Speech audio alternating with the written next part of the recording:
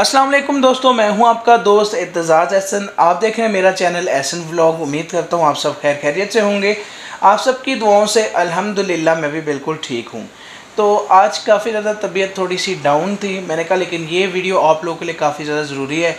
तो सबसे पहले उन लोगों का बहुत ज़्यादा शुक्रगुजार हूँ जो कि कमेंट करते हैं, मोटिवेट करते हैं। अच्छा कमेंट करना ही मोटिवेट करना होता है और आप लोग मोटिवेट करते हैं ताकि मैं आपके लिए और अच्छी वीडियो बना सकूँ। और यही कोशिश करता हूँ कि जो मेरी वीडियो उससे आपको काफ़ी ज़्यादा फ़ायदा हो।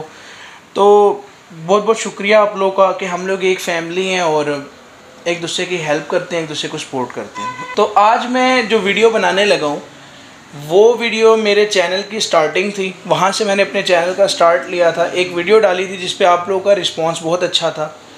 तो आज फिर वही एक प्रॉब्लम आ गई है तो मैंने कहा आप लोग को डिस्कस करूँ, आप लोग को बताऊँ कि क्या इश्यू है, क्या प्रॉब्लम है, क्योंकि काफ़ी ज़्यादा लोग इस वजह से जो है वो बहुत ज़्यादा टेंस हो जाते हैं और अपना ही नुकसान कर बैठते हैं। तो बात करूँगा मैं इनफिनिक्स के फ़ोन्स के बारे में रेडमी के फ़ोन्स के बारे में, क्योंकि मी नोट टेन लाइट मेरी सबसे पहली डिवाइस थी जिसमें एक प्रॉब्लम आया था। तो वो प्रॉब्लम हार्डवेयर था, सॉफ्टवेयर था, ये पता ही नहीं चलता था, लेकिन यह कि वो फ़ोन ने काफ़ी ज़्यादा मुझे तंग किया। अब इन फिनिक्स के फ़ोन्स का क्या प्रॉब्लम आ रहा है?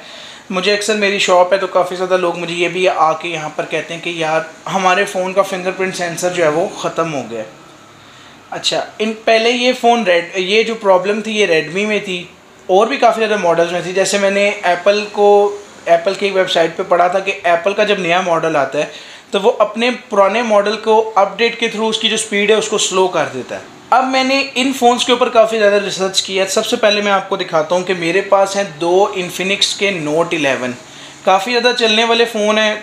थर्टी टू थाउज़ेंड की रेंज में ही आए थे और अपनी रेंज से इनके जो स्पेक्स थे वो काफ़ी ज़्यादा अच्छे थे। काफ़ी ज़्यादा चलने वाले फ़ोन थे। तो सबसे पहले इनके मॉडल्स मैं आपको दिखा देता हूँ दोनों के। ये दोनों सेम फ़ोन है, एक ही फ़ोन है।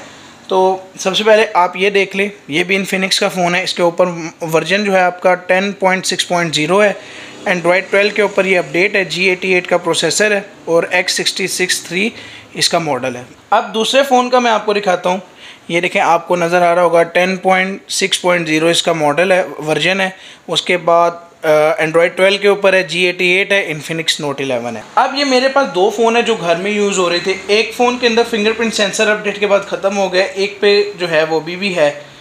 तो आपको बताऊँगा कि जिसमें है वो कैसे है और जिसमें ख़त्म हुआ है वो क्यों ख़त्म हुआ है। तो सबसे पहले आप ये देखें इस वाले फ़ोन के अंदर जो है वो फिंगरप्रिंट जो है वो ख़त्म हो गया हुआ है। और ये वाला जो फ़ोन है इसके अंदर आप देखें कि अभी भी फिंगरप्रिंट है। तो ये फ़ोन होता था मेरी मदर के पास और आपको पता है कि आजकल जो घर में लेडीज़ हैं, वो पासवर्ड नहीं लगाती।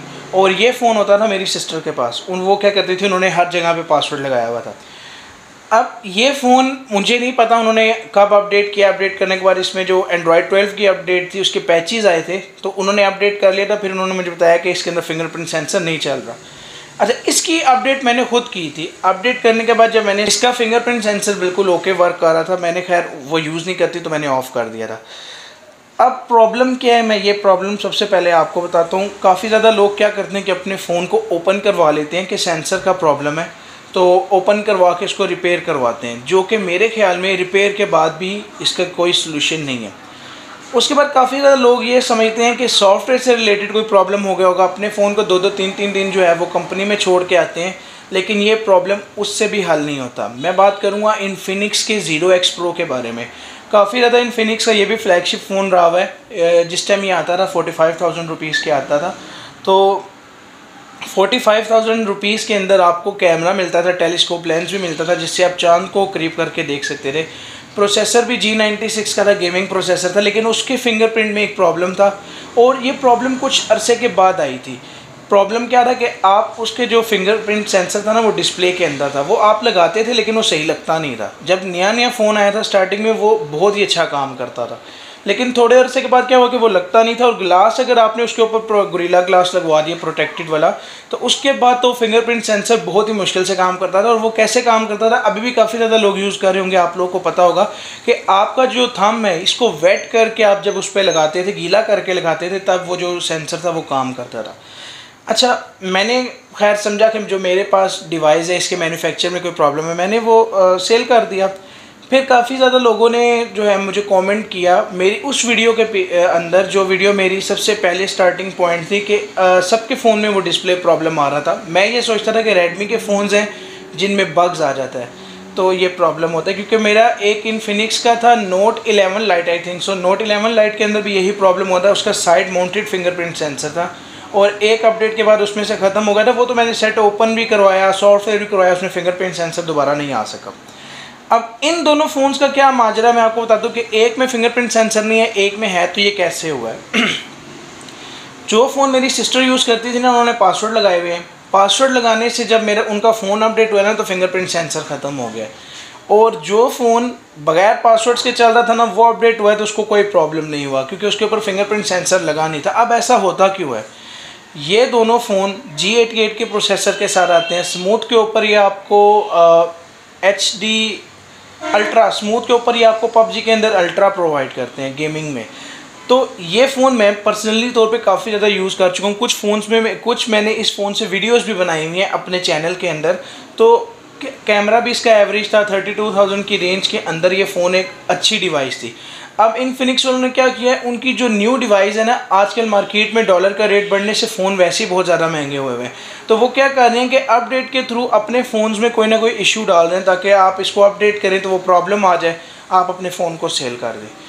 तो अब मैं आप लोग को लास्ट में यही बात कहना चाहूँगा कि अगर आपने अपने फ़ोन को अपडेट करना है ना तो आप जितनी भी चीज़ें, जैसे आपका ब्लूटूथ ऑन है, उसको ऑफ़ कर दें। वाईफाई ऑन है अपडेट डाउनलोड कर लिया, आप उसको भी ऑफ़ कर दें। फिंगरप्रिंट सेंसर हटा दें फेस ये सब कुछ हटा दें।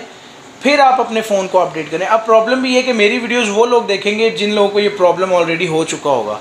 तो अगर आप लोग ये वीडियो को शेयर करते हैं, उन लोगों तक पहुँच जाए जिनके पास इन्फिनिक्स के फ़ोन है या अभी अपडेट्स आनी है, अभी पैचेस भी आनी है तो वो इस वीडियो को देख के कम अज़ कम अपना नुकसान जो है वो ना करें। अगर आप लोग को पता है तो आप लोग अपने घर में ये बात कह रहे हैं कि आप अपने फ़ोन में सब चीज़ें टर्न ऑफ़ करके फिर उसको अपडेट करें। एक यही सोल्यूशन है, लेकिन ये अभी तक मैंने अप्लाई नहीं किया, लेकिन इस फ़ोन को अपडेट करने के बाद ये फ़ोन तो पहले अपडेट हो गया था, ये मैंने अपडेट किया तो मुझे पता है कि इसमें इस वजह से प्रॉब्लम नहीं आया। तो अगर आपको मेरी ये वीडियो पसंद आई है तो वीडियो को लाइक किया रहें कोशिश करें कि वीडियो को शेयर किया करें, ताकि किसी और की भी हेल्प हो सके। और चैनल पर नहीं है तो चैनल को सब्सक्राइब करें। थैंक यू सो मच अल्लाह हाफिज़